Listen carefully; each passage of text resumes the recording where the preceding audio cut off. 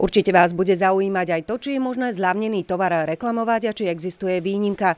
Podľa vyjadrenia Daniely Drozdovej zo Slovenskej obchodnej inšpekcie tovar ponúkaný vo výpredajoch je možné reklamovať tak, ako každý iný tovar, ktorý v zľave nie je.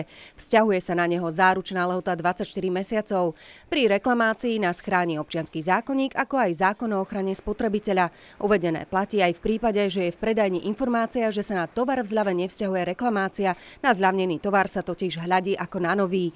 Výnimkou je situácia, že tovar je ponúkaný za nižšiu cenu, keďže má vadu, ktorá nebráni jeho užívaniu. V tomto prípade musí byť poškodenie zreteľne vyznačené, a to aj v doklade o kúpe. Takýto nákup za dojednanú nižšiu cenu potom nie je možné reklamovať. No a teraz sa už pozrime, na čom chcú ušetriť vo výpredajoch Košičania. Tak sme prišli popozerať nejaké výpredaje, ale chodíme aj takto po meste.